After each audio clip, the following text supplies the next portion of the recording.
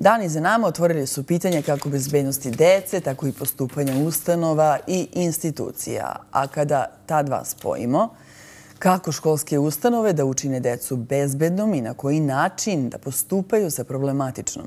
Šta propisuju naše norme, a kako se sa istim problemom bore Sjedinjene države, koje se godinama suočavaju sa situacijom koja je aktuelna u Srbiji koje su procedure i šta je čiji posao. Naši gosti su advokatica Ljena Borović-Marjanović i profesor na Univerzitetu Carnegie Mellon u Sjedinjenim državama, Aleksandar e, Kavačić. Dobro jutro i dobrodošli u novi dan. I profesore, e, vi ste bili ovde kada se prošle srede. Kao neko ko živi i radi u Americi, jeste li mogli ikada da pretpostavite da je ovako nešto moguće da se dogodi u srpskim školama. Da, u Americi mi to viđamo uh, svakodnevno na godišnjem ili mesečnom uh, nivou, ali zaista nisam uh, ni mogao pomisliti da će se desiti u Srbiji. Nekako ova zemlja je prošla kroz nasilje, kroz rat 90-ih i opet kroz sve te godine ratova nismo videli ovako nešto da se desilo. S druge strane, moramo biti svesni retorike nasilja koja se propagira od onog poznatog tišina tamo, znate na šta mislim, do retorike u Skupštini gde se ne dozvoljava poslanicima da pričaju isključivanje mikrofona i to propagira ne samo kroz Skupštinu, propagira kroz sve sfere društva, ministarstva prosvete i tako dalje. Mogu da pričam i o apelima sindikata prosvetnih radnika, ali sve kad takva retorika propagira mislim da je tu ključ da moramo kočiti sebe u takvoj retorici. Ne A mediji? Uticaj medije? Pa sve se to prenosi kroz medije. Pazite, sve što se dešava i u Skupštini, i na vladi, i i na sednicama raznih ministarstava, pa propagira se i kroz direktore škola, a sve se to prenosi kroz medije. Nema tu kočnica u medijama. Evo, hajte kad već pominjete, bio sam prisutan na javnoj raspravi pre desetak dana, recimo pet dana pre tog događaja nemilog 3. maja, je bila bilo zasedan, javna rasprava o pet, šest zakona u prosveti. I javlja se za reč predstavnik sindikata prosvetnih radnika. Poteže pitanje o nasilju i dobija odgovor od ministarstva koje ga jednostavno oduva kao da taj čovjek nema pravo tu da sedi i da poteže to pitanje. A oduvali, su, ga, oduvali su ga jednom prostom rečenicom. Ostavite nas da to rešavamo. Rešili smo to tako što će od septembra ocena izvladanja ulaziti u prosek ocena. I to je sve što je taj čovjek dobio kao odgovor i svi prisutni. Kao da će sad ta ocena izvladanja ko ulazi u prosek, nešto promeniti bez ikakvog osvrta na, na godine i decenije a, retorike i samog nasilja u prosveti. Govorimo o onom izmicanju stolica, e, Kristijanu Goluboviću na času i to već, eto, i kakav to onda može, do čega može da dovede takav jedan odnos Ministarstva prosvete prema ljudima koji su zainteresovani za zakon. Ali eto, vidjeli smo na kraju do čega, do čega smo e, došli, milioni pogrešnih e, koraka koje kao da nismo ni na koje kao da smo se navikli. E, gospođe Borović-Marjanović, dakle, to, ta, ta priča o pravima u školi i obavezama u školi nekako nije bila tema. I ajde sad da je postavimo, e, kao, nismo, nismo o tome pričali. Šta se dešava u školi kada se primeti problematično dete. Ko je tu šta radi? Mi smo juče, naravno, naša policija povukla, demantovala, izvinila se, javnosti nema pravljenja spiskova problematične dece.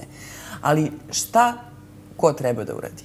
Pa, evo ovako da vam kažem. Ja stvarno mislim da je zakonska regulativa što se tiče kako maloletnih učinioca krivičnih dela, tu podrazumaju maloletne učinjice zakona o maloletnim učinjicima krivičnih dela, predviđa i postupak prema maloletnim oštećenim izvršenjem krivičnih dela, kao i zakon o osnovima e, obrazovanja i vaspitanja, sasvim solidno reguliše tu neku e, tu oblast. Ali gde možda dolazi do nekog zastoja, što to treba čitati.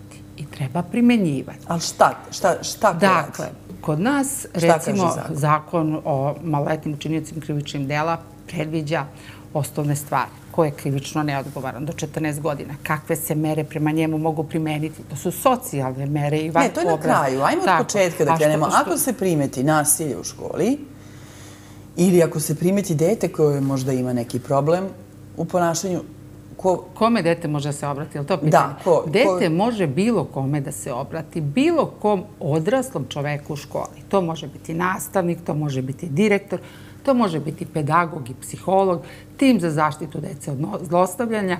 Znači, to je sve urađeno za zakon o obrazovanju i vaspitanju. Ima svoj protokol o načinu prepoznavanja, diskriminacije i ostalog Dete može da se obrati, ali da li oni imaju obavezu da se obrate detetu ako primete?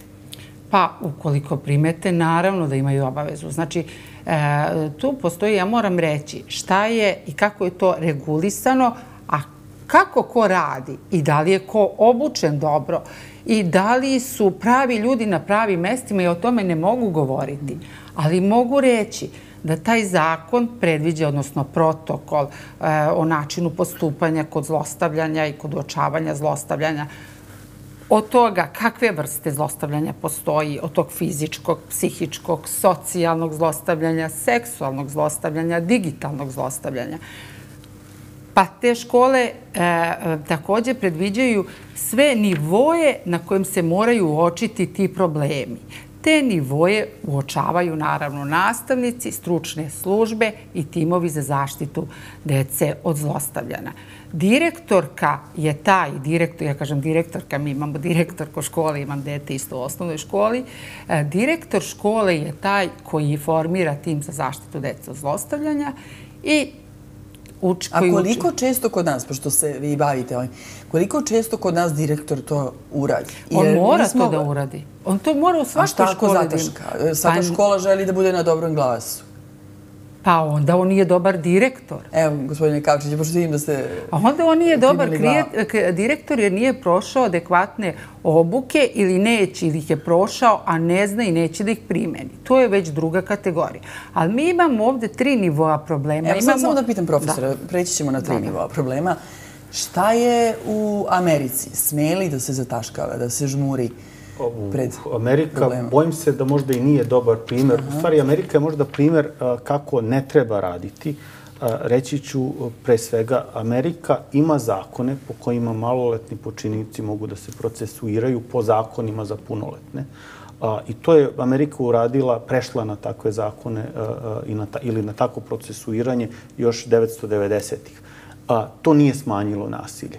A, čak što više nasilje je povećano. Jedino što se promenilo je da nasilnici, to jest počinioci ovih zločina, sve što urade, znajući da će biti procesuirani po zakonima za odrasle, a u Americi ima i smrtne kazne, ostave samo poslednji metak za sebe.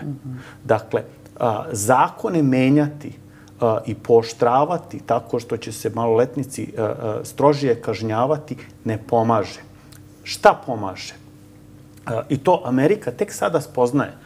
I mi kao profesori prolazimo kroz te obuke, možemo pričati šta se dešava u tim obukama. Ali u tim obukama slušaj, razgovaraj, pogledaj i prijavi.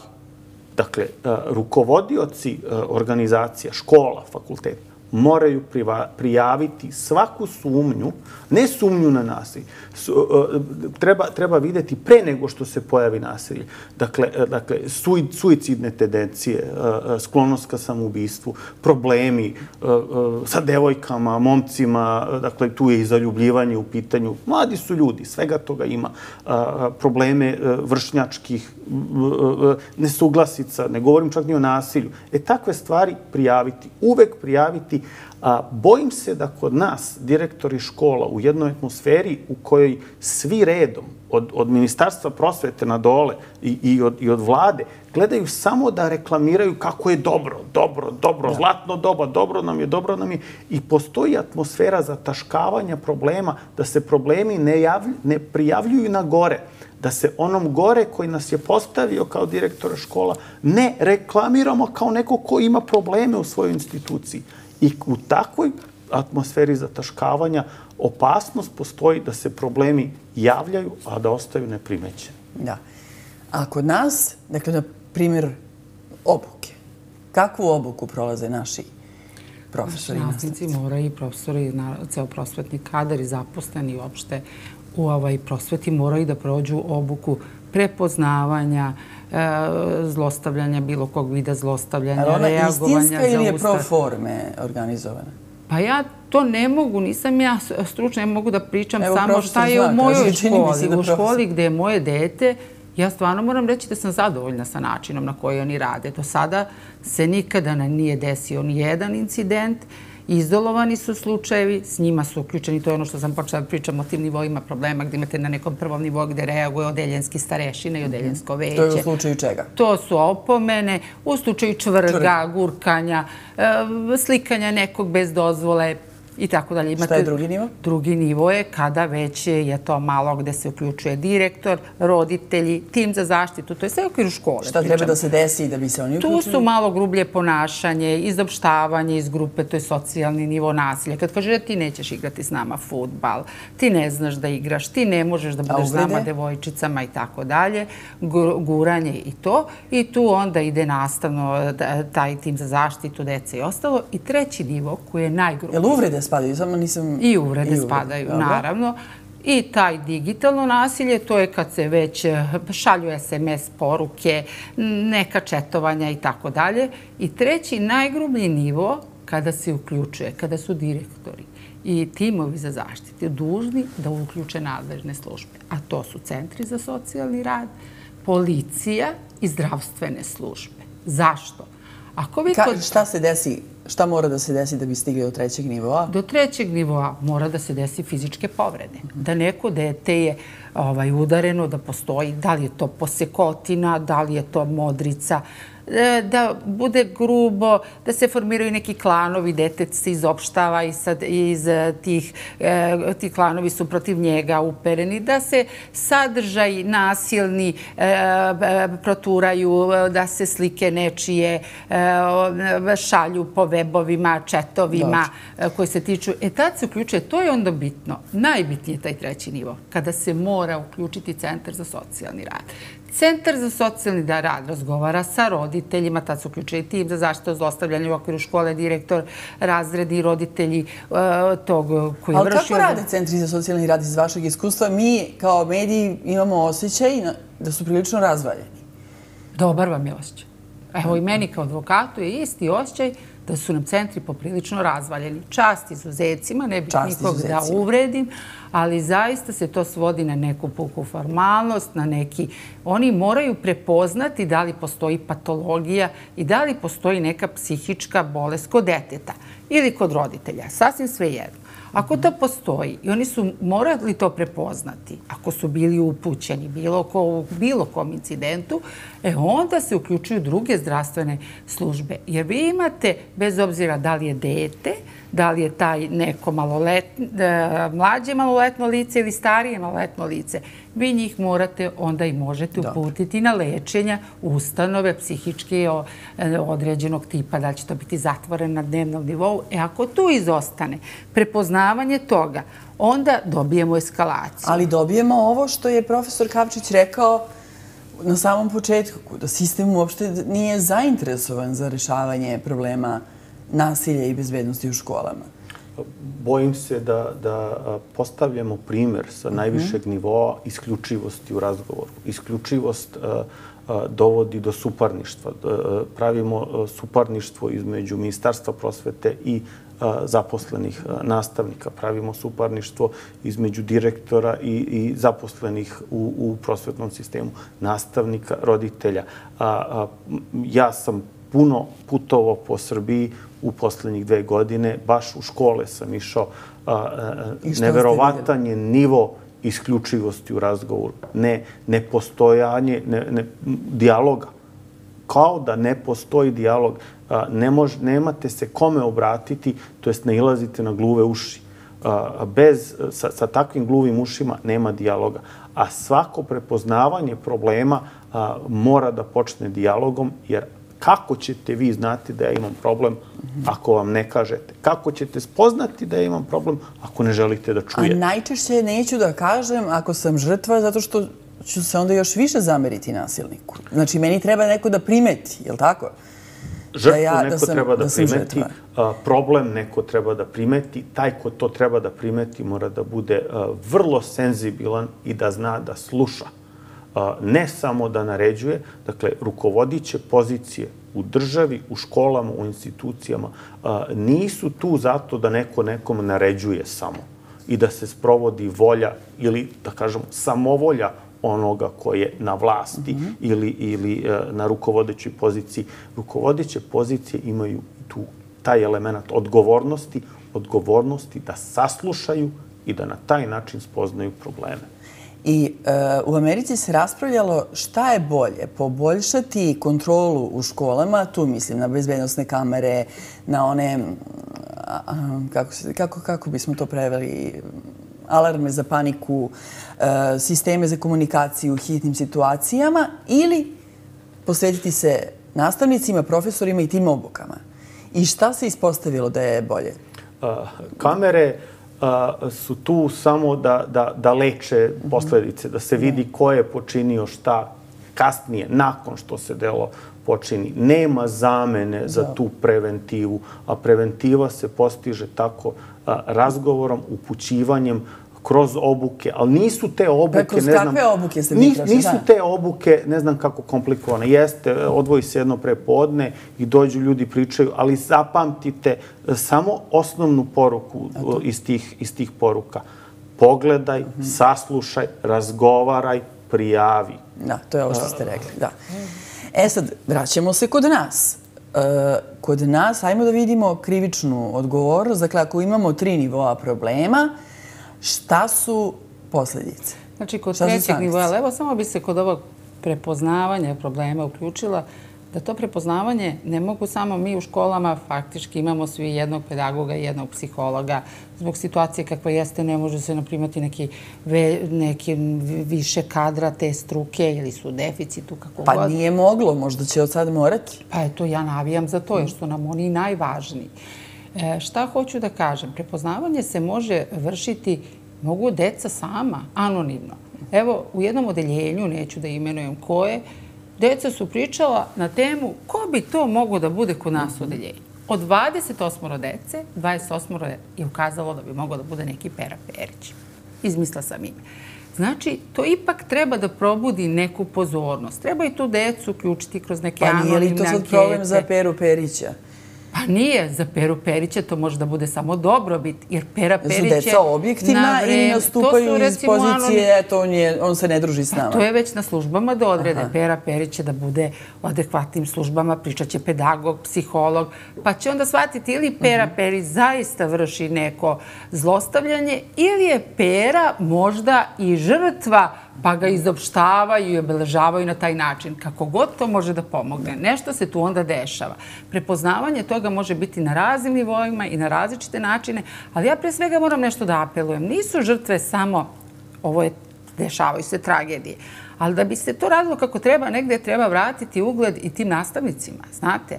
I oni su žrtve. Izmičeš stolicu, kažeš svašta, e, pretiš, izlaziš u medije, a ne poštuješ podatke o zaštiti maloletnih, maloletnih lica, dece. Koliko je važna tajnost podataka jako u ovom slučaju? Jako je važna. Dakle, zašto? Evo, ja pričam sad s aspekta nekog ko ima posebna znanja za rad sa maloletnim učinijocima krivičnih dela, znači sertifikat ne može svako braniti maloletnika. Ne može ni zastupati oštećenog maloletnika izvršenjem krivičnog dela.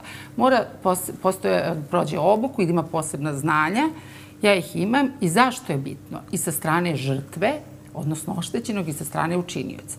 Hajde da pričamo o oštećenima. Taj oštećeni, ako se etiketira javno kao žrtva, čak i porodice oštećenog, sestre, mlađe, braće, on će kroz život rasti s osjećajem da je žrtva. Znate, unapred ste negde osuđeni na prepoznavanje da ste deo neke velike tragedije, da ste neki to utiče na vaš život. Zato zakon predviđa tajnost podataka. Suđenja za maloletnike su isključena je javnost. a vi ne možete izlaziti u javnost sa slikama, sa fotografijama, sa... Onda što se tiče maloletnih učinioca krivičnih dela, takođe, taj će rasti s ubeđenjem da je agresor, da je to, pa će nastaviti to negde ostane u glavi. Postoji razlog zašto je zakonodavac to tako predvideo. Ja kažem, zakon sve lepo predviđa, samo nekad mi se čini da nema ko da ga poštuje. Da toga, da ako bi se poštovala tajnost podataka, on bi se popravio? Pa lakše. Da li bi, zavisi od njegove, da li ima neke patologije, bolesti, da li je... Da, mnogo kompleksno. Mnogo, da. A svakako bi se bolje nego za deset godina da se ukuca pa kažu taj je uradio to. E, porodice pa da gledaju i unuci, praunuci slike e, žrtava, oštećenih. To ne ide negde. Profesor, kod, tog jutra kada se desio taj užas u studiju je bio vaš kolega koji takođe predaje u Americi decenijama, akademik Nenad Kostić, i koji je odmah rekao kad se u Americi tako nešto dogodi, uključi se ideja i u nekoj tuđoj glavi. Kako Amerikanci, da, jel da? Kako se onda izveštava? Kako, kako vode Amerikanci računa da izveštavaju o masovnim ubistvima? Dobro, ka, to se tamo dešava dosta češće nego, nego kod nas, a, ali a, postoji princip da se ne a, objavljuju detalji zločina. Mora se obavestiti da se zločin desio da je bilo problema u, u, u izvesnoj školi ili u shopping molu, ali se ne objavljuju detalji.